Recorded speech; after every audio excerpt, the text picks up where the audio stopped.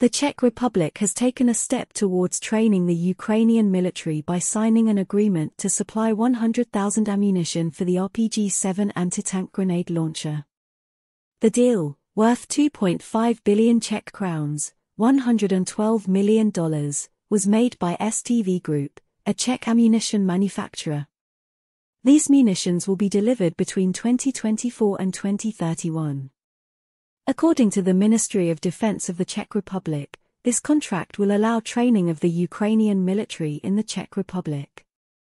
Such an opportunity will be available next year, and this is an important stage for the training of Ukrainian forces. So far, about 3,500 Ukrainian military personnel have been trained in the Czech Republic, and about 500 more have been instructed in Poland by Czech instructors. In this context, Ukrainian troops will have access to modern ammunition and high-level training. In parallel with this agreement, the Czech Republic has been discussing for a long time the issue of abandoning the Soviet RPG-7 grenade launchers and replacing them with more modern models. This idea appeared back in the 2000s. For special tasks, the Czechs acquired a limited number of Swedish Carl Gustaf M3 grenade launchers, but a full replacement was delayed until 2025.